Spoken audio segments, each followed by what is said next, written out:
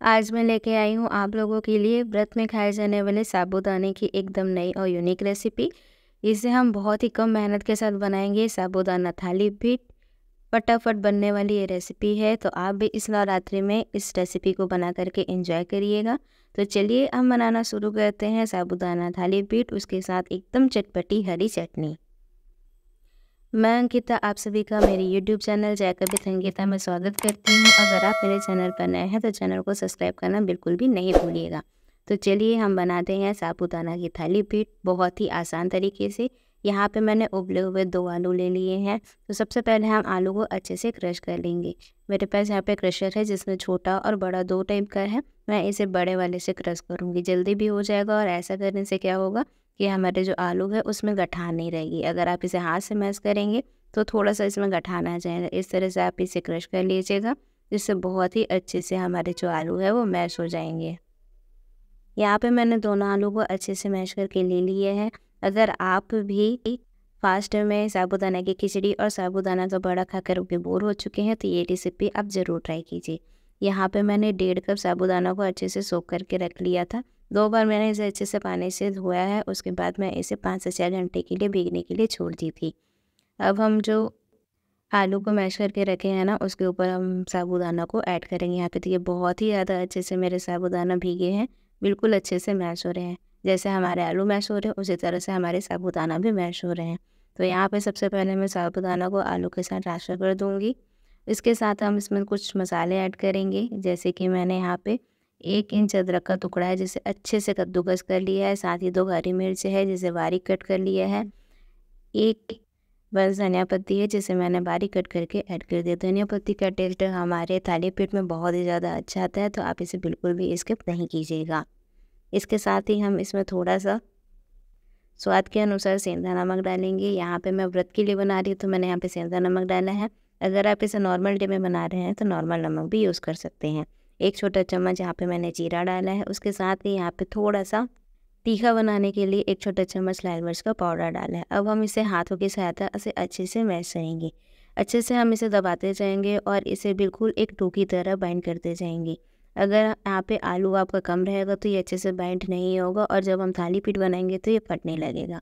इसी तरह से एक बड़े से बर्तन में ही आप इसे अच्छे से मैश करिएगा, जिससे कि बिल्कुल भी प्रॉब्लम नहीं होगी और ये बहुत ही जल्दी एक डो के फॉर्म में कन्वर्ट हो जाएगा। तो यहाँ पे आप देख सकते हैं कि हमारा साबुदाना आलू के साथ काफ़ी अच्छे से मैश हो चुका है।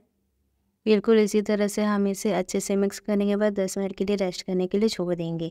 अब हम थाली पीठ बनाना शुरू करते हैं, इसके लिए मैंने नीचे में एक थाली रख दिया है। यहाँ पे आप कोई सा भी फ्लैट सरफेस का बर्तन रख सकते हैं। उसके ऊपर मैंने यहाँ पे एक प्लास्टिक की पॉलीथीन ली है, जिसे अच्छे से ग्री के साथ ग्रश कर लिया है। अब हम हाथ से थोड़ा सा घी अच्छे से ग्रीस करेंगे, जिससे कि हमारा हाथ बिल्कुल भी नहीं स्टिकी होगा और थोड़ा सा पोर्शन हम साबूदाना का जो मिक्सचर बना करके रखा है, वो हाथ में लेंगे और इसकी अच्छी बड़ी एक लोई बना करके रेडी कर लेंगे।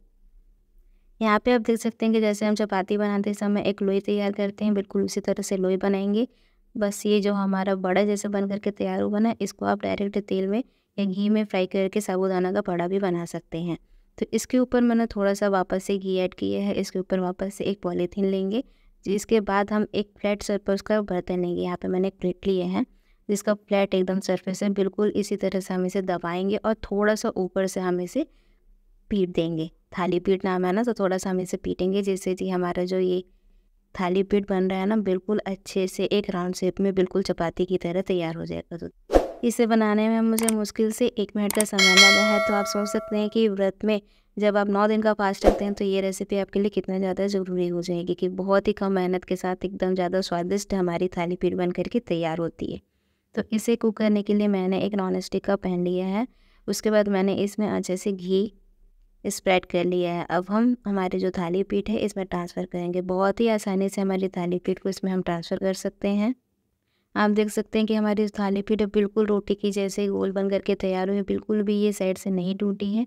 तो बस इसी तरह से हमें इसे स्लो से मीडियम फ्लेम पे अच्छे से इसे कुक करना है। इसे हमें जल्दी जल्दी नहीं पलटना है, नहीं तो ये टूट जाएँगे। पाँच मिनट तक एक साइड से हम इसे अच्छे से कुक कर लेंगे। अब हम थोड़ा सा घी स्प्रेड करेंगे थाली पीठ के ऊपर में, क्योंकि अब हम इसे पलटने वाले हैं। तो ये देखिए, बहुत ही आसानी से साइड को छोड़ चुका है, लेकिन हम इसे ऐसे नहीं पलटेंगे। हम इसे एक प्लेट में ट्रांसफ़र करेंगे, उसके बाद हम इसे पलट देंगे। ये देखिए, इस तरह से आप बनाएँगे ना तो बिल्कुल बिना चिपके, बिना टूटे, आसानी से प्लेट में आ जाएगी। इसके बाद हम इसे वापस से पलट देंगे।